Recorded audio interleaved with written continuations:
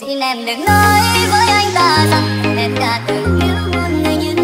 Xin em đừng khóc mỗi khi đau lòng Rằng em còn có một người chờ mong. Anh mất lòng lắm nếu ai biết được Anh không thể